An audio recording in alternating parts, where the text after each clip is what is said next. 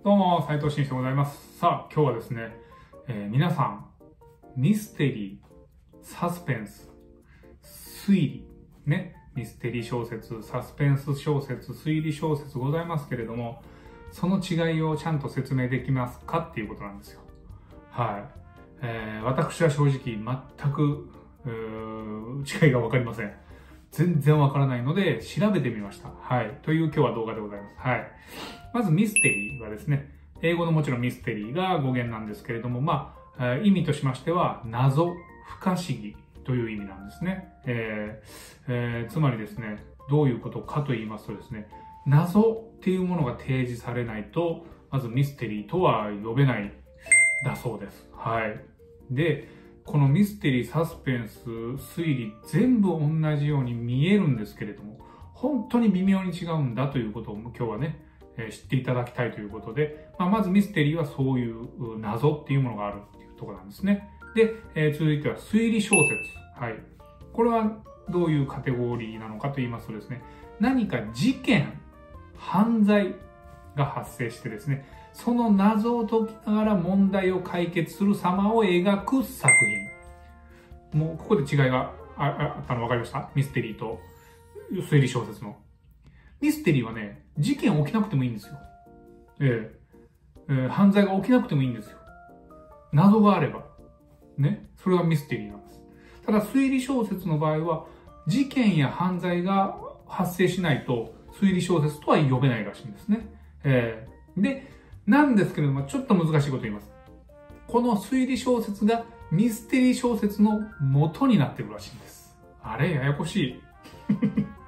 本当に微妙な違いなんで、こう、説明するのがなかなか難しいんですけれども、まあ一応聞いてください。えーえー、まずですね、この、歴史を紐解くとですね、1830年代、えー、だいぶ前ですね、もう200年ぐらい前にですね、イギリスで流行した探偵小説であるニューゲート小説っていうのがあるんだそうですけれども、はですね、イギリスに実在した監獄書、ね、えいわゆる刑務所ですね、が発行した犯罪の記録をもとに書かれたものなんだそうです。このニューゲート小説というのがですね。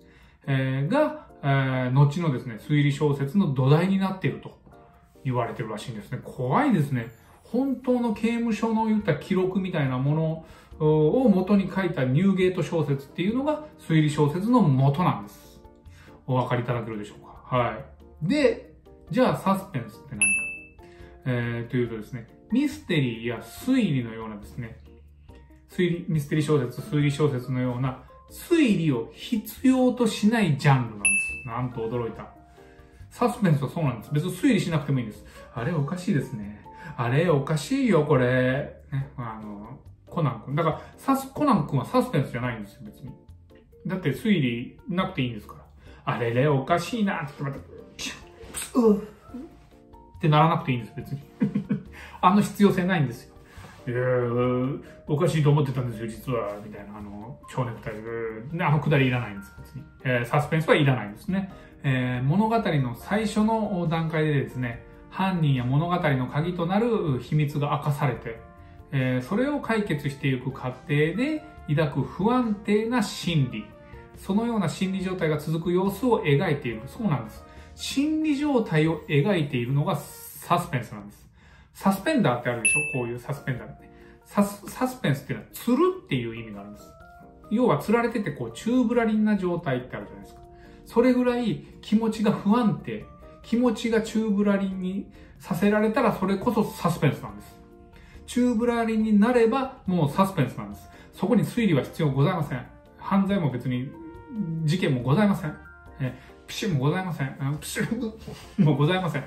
何もございません。えー、す、えー、で、に犯人が分かっていたとしてもいいんですよ、別に。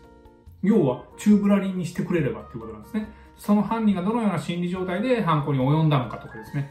などの不安や緊張感を味わいながら楽しむのがサスペンスなんだそうです。要はですね、えー、心を宙づりにされるという意味で言うと、このサスペンスっていうのはじゃあどういうものかというと、スリラーであったり、ホラーであったり、アクションなんかもサスペンスにカテゴライズされるんですね。え確かにホラーとかもそうじゃないですか。えー、怖い、もう、なんかわからんけど、次々と人が死んでいく、ああ、怖い、チューブラリンな気持ちみたいなのもサスペンスでいいんですよ。ね。えー、なので、えー、ミステリー、サスペンス、推理、いろんな小説ございますけれども、まあ、その違いを知ったからどうなんだっつう話なんですけども、もし公募のね、えー、ところにミステリー小説求むなんて書いてあるのに、ね、えー、事件が何一つ起きないのはいいのか、えー、ミステリーなんていうのが書いてあるにもかかわらずですよ、何の謎も提示されないとかね、ん？